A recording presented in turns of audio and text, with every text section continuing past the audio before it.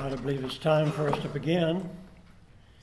We're going to have our last lesson today in a series on the topic of a biblical view of sin. Sin is opposed. What is sin opposed to? Sin is opposed to all good in general. Sin is the source of all other evils. There is a kind of infiniteness in sin. The evil of sin is seen in its conformity with the devil. Those will be the headings that we will consider this morning. First of all, sin is opposed to all good in general. Genesis 3:17 Then to Adam he said because you have listened to the voice of your wife and have eaten from the tree about which I commanded you saying you shall not eat from it cursed is the ground because of you. Sad words, tragic words. John Calvin comments Before the fall, the state of the world was a most fair and delightful mirror of the divine favor and paternal indulgence towards man. Then he adds these words Now, in all the elements, we perceive that we are cursed. What brought that about? Sin. Sin. Concerning creation, we read God saw all that he had made, and behold, it was very good. It was the sin of Adam that brought a curse upon that world. Romans 5:12 says therefore just through one just as through one man sin entered the world and death through sin, and so death spread to all men. Because all sinned. Sin's entrance into the world brought God's judgment. So, as a result, we see the truth of Calvin's observation. Now, in all the elements, we perceive that we are cursed. Think about this. Is it not a exercise in futility for man to seek genuine happiness and fulfillment in that which has been cursed? What, what a futile thing trying to find joy, happiness, satisfaction, all of these things, even peace of mind. But seeking them in a world and in things that have been cursed.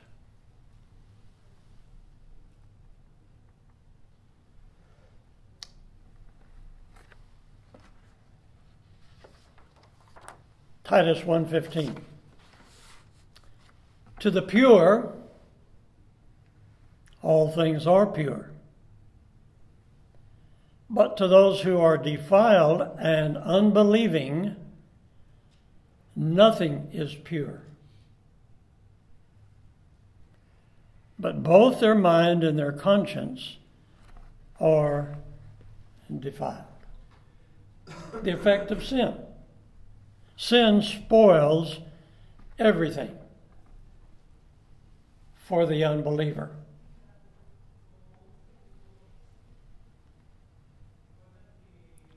misery, pain, suffering, sorrow, heartache, disappointment, frustration has its roots in sin.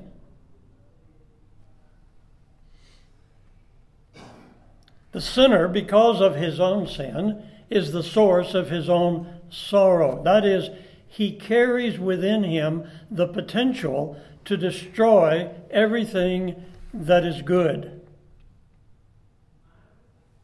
Let me illustrate that in three aspects.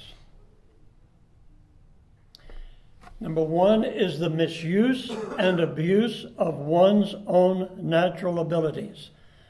We're going to consider these. These are three headings. And the first heading is this the misuse and abuse of one's own natural abilities. Secondly, the misuse and abuse of acquired abilities. And thirdly, the deterioration of personal relationships. Let's look at them. First of all, the misuse and abuse of one's own natural abilities.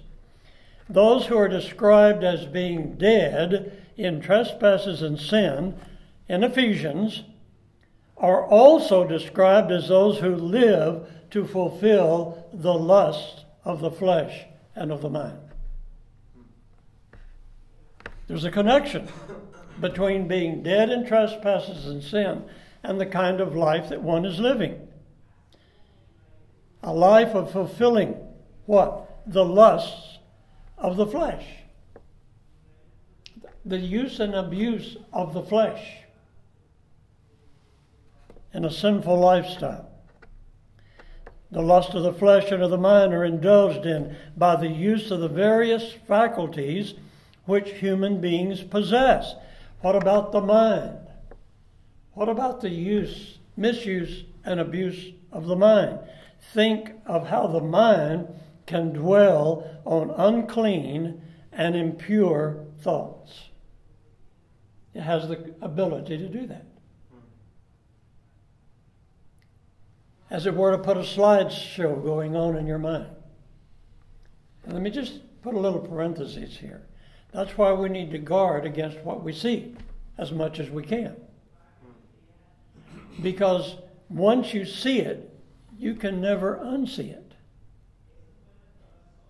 Totally. Satan has the ability to bring that back into your mind 10 years from now and make it a source of temptation. The mind. How about the eyes? Where we've already mentioned it. that look upon those things which motivates wrong thoughts and desires. What about the feet? The feet can take you to places you should never go. How did you get there? Well, part of the way you got there was by your feet. God equipped us with feet they can be used, misused and abused. What about the hands? The misuse and abuse of the hands. To touch that which is not allowed. To pick up and take those things which belong to someone else. What about the member of the tongue? Read James. James talks a lot about how the tongue can be misused and abused, to speak lies, to say words that are deceitful, words that are hurtful, words that are vulgar. David was guilty of misuse and abuse of his body in committing sin. He looked upon a woman. His eyes saw. It was the entrance of lust and desire. His lips were used to order the command to have Uriah murdered. Those very lips spoke the words that resulted in murder. His mind put together that clever little plan of how that murder would be carried out. He thought it up. You see, what we're saying is all of the things that have the quality of being good was used wrongly. Did that bring misery to David? He thought Bathsheba would be, bring happiness. He thought getting rid of Uriah would, would pave the way clear to have joy and happiness. Did he? Listen to his words. When I kept silent about my sin, my body wasted away. Through my groaning all day long, for day and night thy hand was heavy upon me. My vitality was drained away as with the fever heat of summer. You see, every unredeemed sinner carries with him the capacity to destroy good.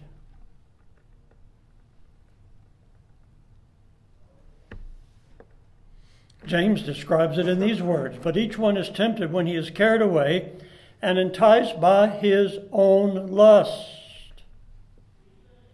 And when lust has conceived, it gives birth to sin. And sin, when it is accomplished, brings forth joy and happiness and gladness.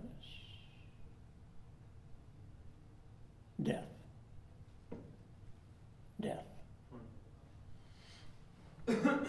Second heading the misuse and abuse of acquired abilities. I remember Dr. Bob Jones Sr. when I was going to Bob Jones. He was still very much alive and spoke regularly in chapel. And he said, um, Take an uneducated man, and he'll steal a watermelon off the train. He said, Educate him, and he'll steal the train. The use, the abuse, misuse of acquired abilities. You cannot arrest a man for forging a check until you teach him how to write.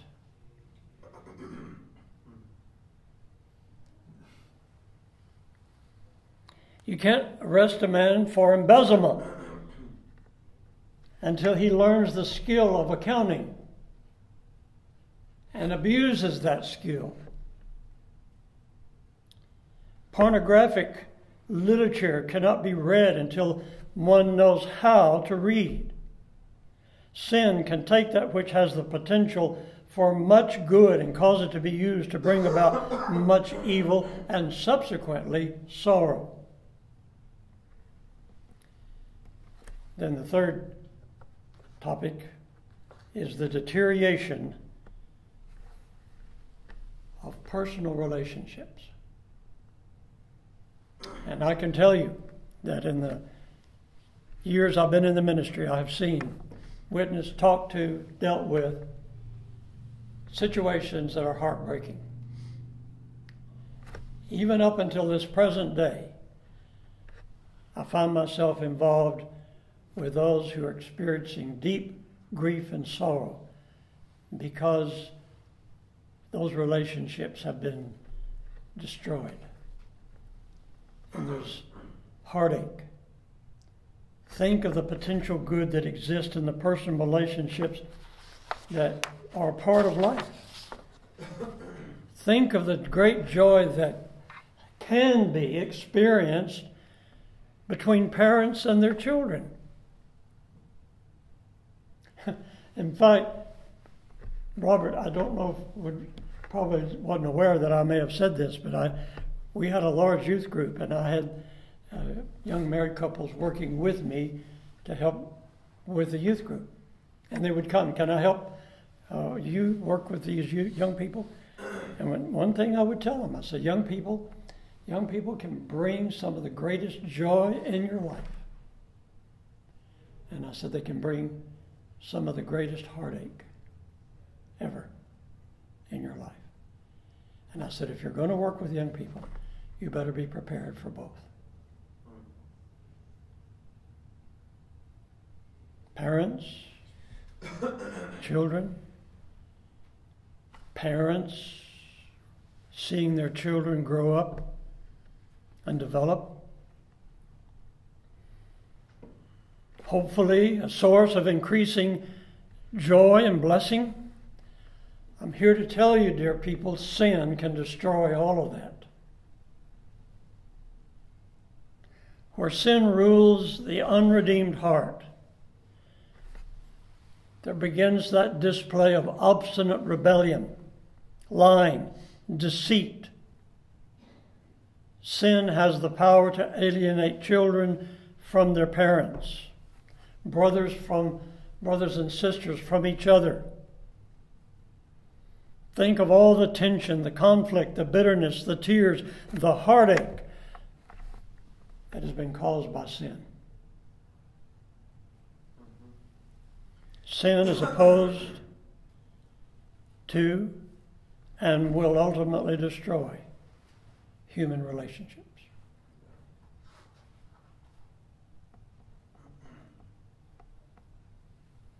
Sin can ruin and destroy the closest human relationship that exists on earth, that of husband and wife. Ephesians says, For this cause shall a man leave his father and mother, and shall cleave to his wife, and the two shall become one flesh. There is no closer human relationship on the earth than the one flesh relationship that exists between husband and wife. Sin has the power to destroy that.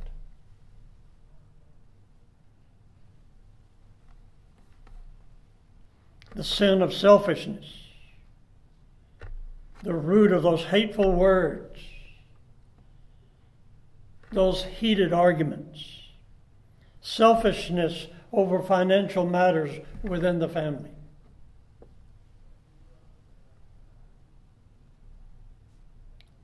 Sin is the root cause of those first adulterous thoughts and desires that will have ultimately their end in divorce.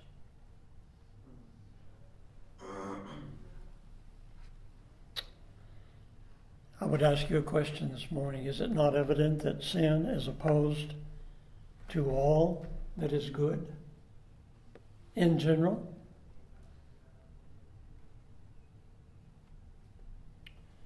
Fourth category sin is the source of all other evils.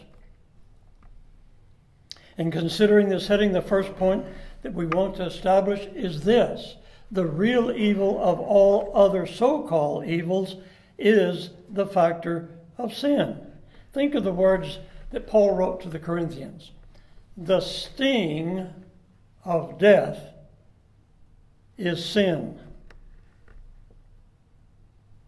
The sting of death is sin. What is true of death is true of all other evils and afflictions. Follow my thinking as I quote from Jeremiah Burroughs. The sting of a sickness, the sting of the loss of your estates, the sting of discredit, the sting of imprisonment, the sting of afflictions, and that which makes them bitter to the soul is sin. Think of that. Let me state it differently. It is sin that makes all adverse circumstances in the life to be bitter. That's the bitterness of it. As sin has a part in it. Talk, let's talk about the Apostle Paul. He was in prison. Of course, I do, I'm quite involved with the prison ministry, and I think of that. I wonder what that prison was like. Dark, filthy, smelly, no restroom facilities, no light, rats.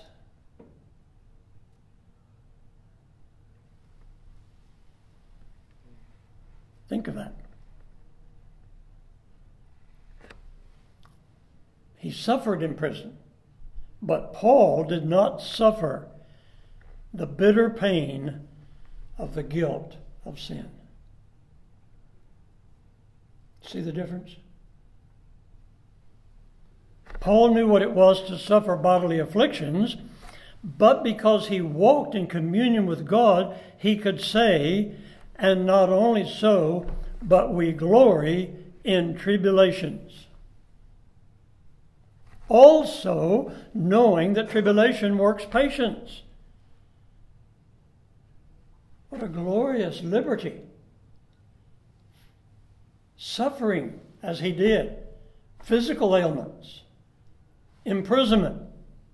This is the language of a man who knew real suffering, but it was not the consequence of his own sin. It was due to his own obedience to the will of God. There's a difference. Jeremiah Burroughs says sin is, as it were, the rotten core in the apple. It will make all the fruit to be bitter and rotten and so take away the rotten core, and you will not taste so much bitterness in the fruit. So, if sin, the rotten core, is cut out, affliction will not be so bitter.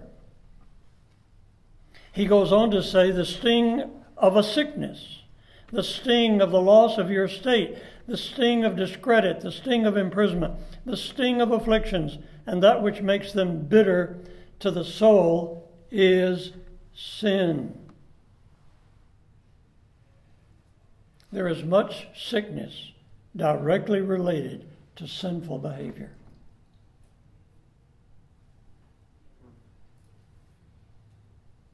Those who are suffering all kinds of bodily pain, physical weakness, maybe even facing death.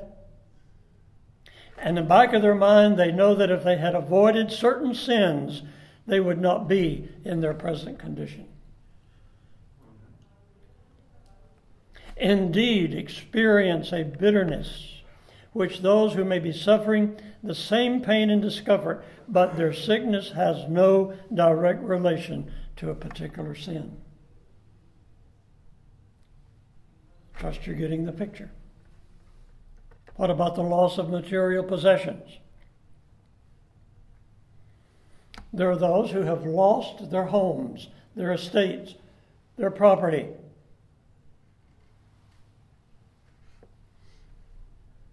Through no fault of their own.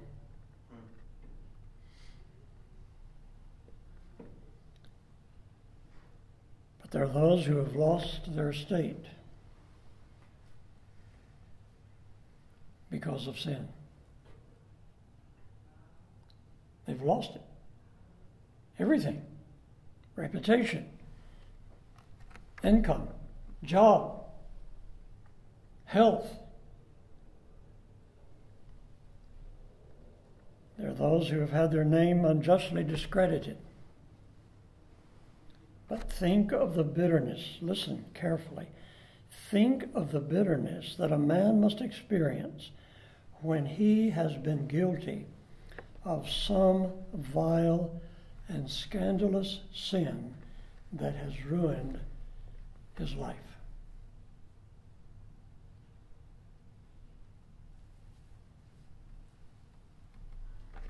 There are those whose husbands or wives have left. But the husband or wife who knows that their mate left because of their own sinful behavior, their own sinful neglect to fulfill the biblical role of a husband or a wife, knows that a great deal of the weight of the guilt for that happening it rests upon their shoulders.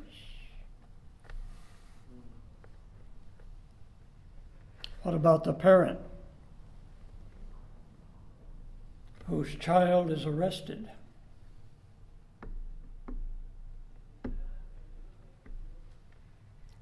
And deep down, that parent knows that he has been sinfully neglectful in loving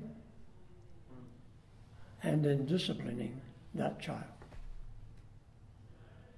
And now he's in the juvenile.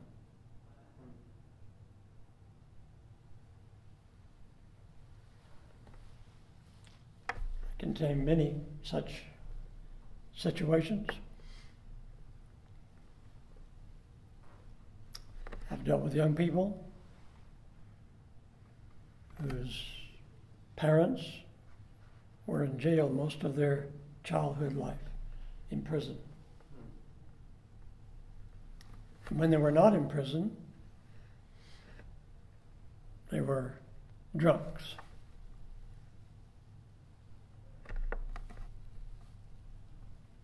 How sinful is sin? Charles Hodge puts it this way The true character of sin as sin is revealed by its making even that which in itself good the very means of evil.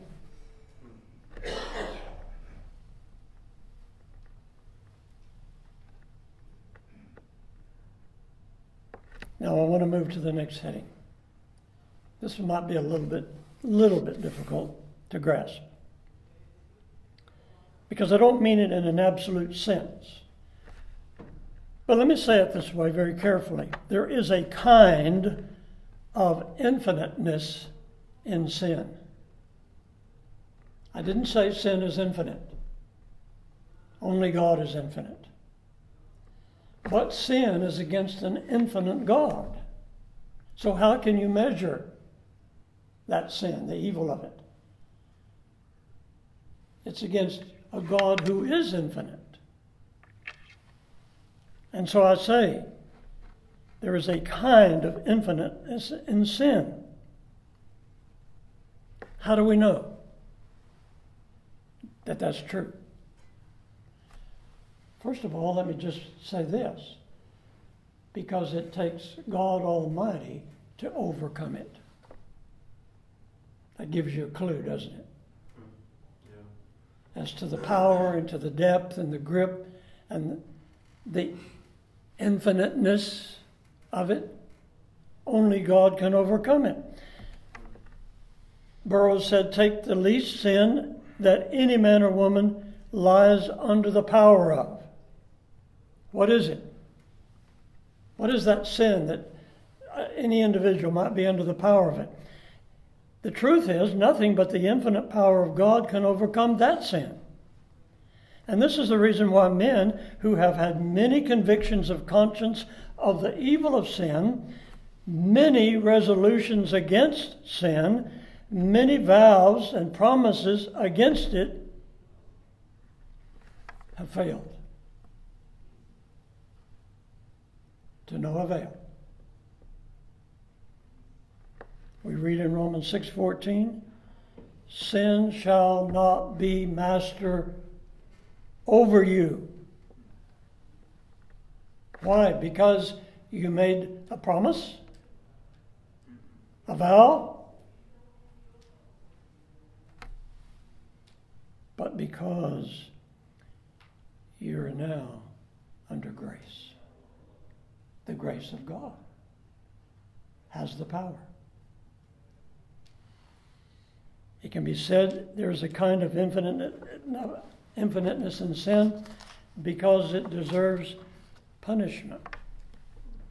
But what kind of punishment? What kind of punishment does it take to satisfy the guilt of sin? Eternal punishment. Not just do 20 years in prison.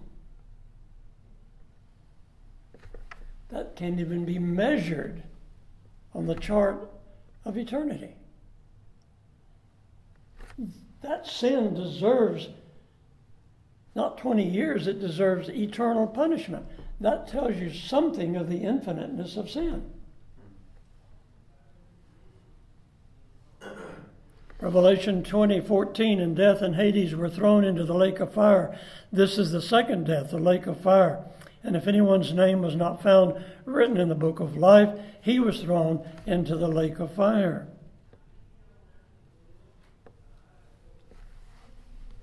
There's another reason why we say that there's a kind of infiniteness in sin, because of what is required to make atonement. What's going to make atonement for sin? Gold, silver, religiosity.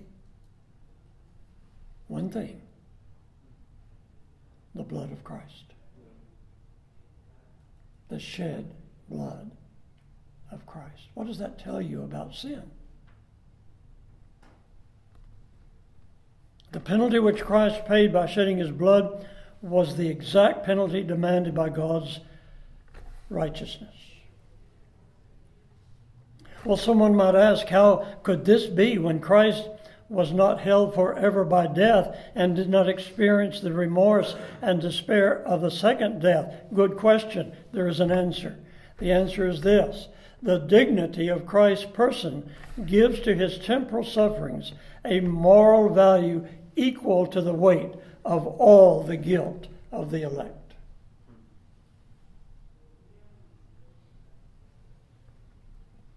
It took the suffering of the infinite Son of God to pay the full penalty of sin. And finally, we've already mentioned this. There is a kind of infiniteness, infiniteness in sin because it is against an infinite God. You see, if we sin against another human being, that human being is finite. It is far different when we sin against God. David acknowledged that his sin against Bathsheba and Uriah was actually against God. He said, Against thee and thee only have I sinned. How could we even begin to measure the far reaching effects of our sin against an infinitely holy God?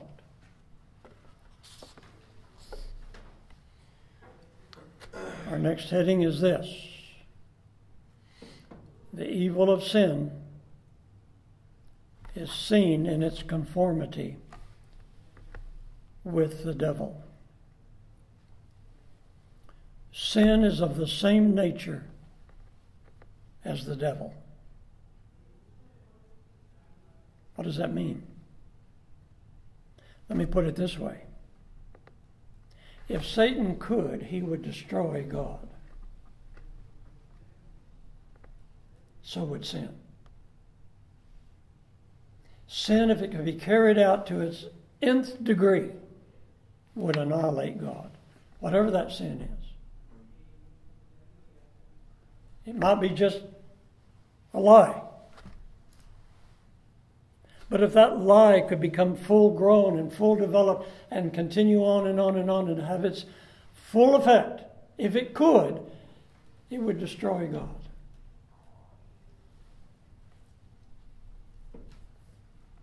Satan purposes to destroy souls of men in hell. So does sin. Satan seeks to destroy all that is good, so does sin. Sin has its origin in the devil. 1 John 3 8, for the devil has sinned from the beginning. John 8 44, you are of your father the devil, and the lust of your father you will do.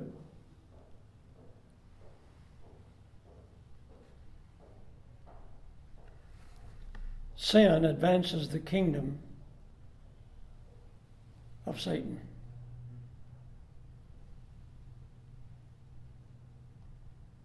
Ephesians 2. According to the prince of the power of the air, of the spirit that is now working in the sons of disobedience.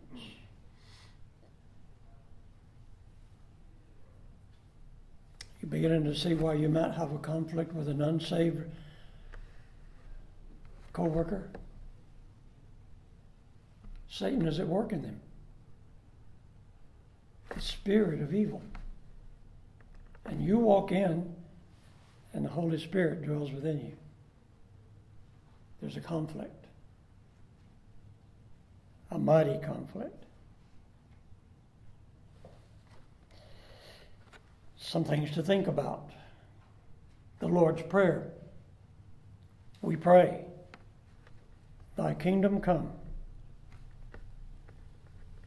Thy will be done on earth as it is in heaven. Do we not take the name of our God in vain when we pray that prayer? And then by our sin, oppose the kingdom of God? favor the kingdom of Satan by our sin? Sin is a fulfilling of the will of Satan. 2 Timothy 2:26 and they may come to their senses and escape from the snare of the devil having been held captive by him to do his will.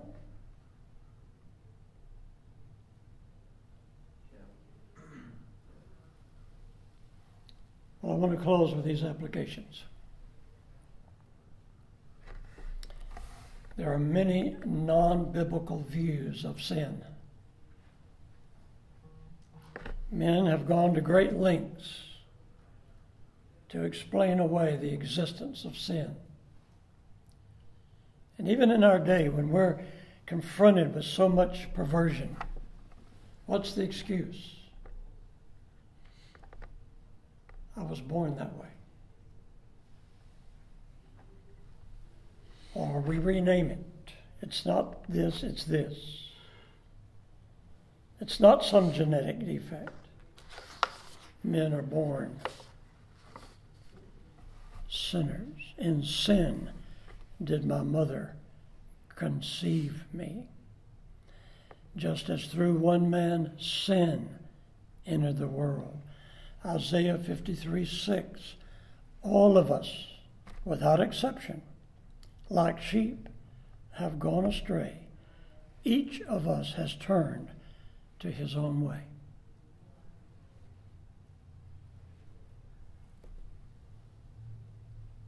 Sin is a moral evil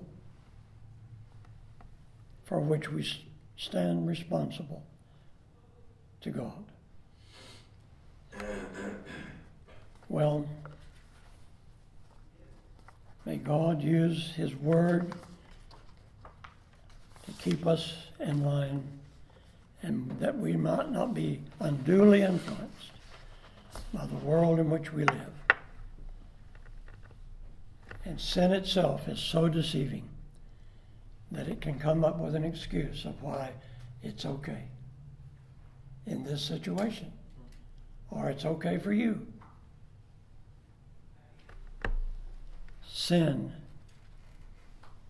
is deceiving and hardens the heart. Let's pray. Father, we thank you for your truth. We pray that you will use it in each of our hearts and lives. We pray, Father, that we will take sin seriously and deal with it biblically. May we encourage one another day after day while it is still called us today, lest any of us be hardened by the deceitfulness of sin. We pray in Christ's name. Amen.